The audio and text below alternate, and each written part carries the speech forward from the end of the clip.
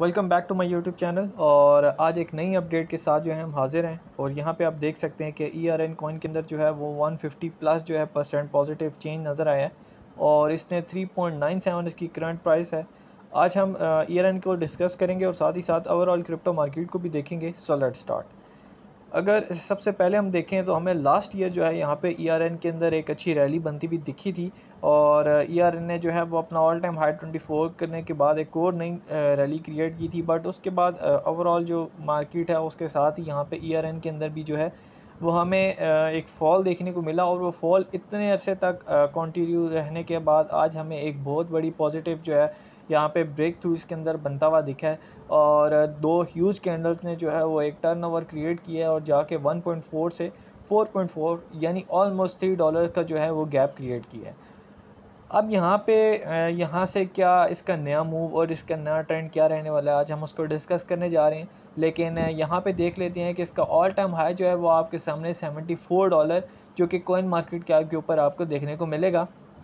साथ ही साथ इसकी पॉपुलैरिटी 314 रैंक है और मार्केट कैप इसका 62.48 मिलियन डॉलर्स 24 और वॉल्यूम जो है वो 365.73 मिलियन है और सर्कुलेटिंग सप्लाई भी एक छोटा सा नंबर है। सेवन डेज़ से हमें इसके अंदर जो है वो एक छोटा सा अपवर्ड ट्रेंड देखने को मिला था। और अगर हम 24 आवर के अंदर देखें तो 151 यानी ऑलमोस्ट 150 प्लस जो है वो टर्नओवर एक अच्छा पॉजिटिव रेट इसके अंदर बनता हुआ दिखा है। अब यहाँ पे इसने कपल ऑफ़ टाइम जो है वो थोड़ा सा अपवर्ड ट्रेंड मूव करने की कोशिश की है जब तक जब से इसका ये वाला डम जो है वो हमें देखने को मिला था और ये इसका लोएस्ट था। तो यहाँ पे एक इसने जो है वो टर्न करने की कोशिश की जो कि ऑलमोस्ट जून का मंथ था। उसके बाद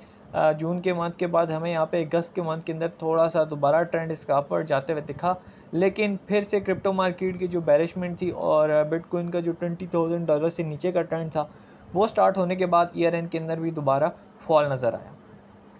आज हमें यहाँ पे दो तीन दिनों से ये जो 1.3 इसका लोएस्ट दोबारा बना और उसके बाद से हमें एक पॉजिटिव हल्का सा अपवर्ड ट्रेंड जाता हुआ मार्केट इसकी रिकवर होती हुई दिखी। उसके बाद एकदम से यहाँ पे शूटअप देखने को मिला है और ये कॉइन जो है, इस टाइम ट्रेड हो रहा है 4.4 डॉलर के करीब और ये ऑलमोस्ट यहाँ से इसी कैंडल के अंदर या इससे नेक्स्ट कैंडल के अंदर जो है वो आपको फाइव डॉलर को भी टच होता हुआ दिखेगा। सो so, इसकी नेक्स्ट मूवमेंट जो है वो डेफिनेटली ये यहाँ से थोड़ा सा फॉल करेगा क्योंकि एकदम स्टीप ऑफवर्ड जो है वो ट्रेंड बना है और यहाँ से मे भी यहाँ से पॉसिबिलिटी है कि ये दोबारा 2.5 और 2.5 से भी थोड़ा सा नीचे 2 डॉलर के करीब आपको फॉल होता हुआ दिखे नेक्स्ट टू और थ्री कैंडल्स के अंदर। सो so, उसके बाद यहाँ पे थोड़ा सा ये स्टेबल होगा और उसके बाद हम यहाँ से प्रडिक्शन कर सकते हैं कि इसका नेक्स्ट आने वाला जो ट्रेंड है वो अपवर्ड होगा या नहीं। सो स्टेट यून मार्केट के ऊपर अपनी नज़र रखें नेक्स्ट अपडेट के साथ आपको मिलते हैं तब तक अपना ख्याल रखिएगा टेक केयर गुड बाय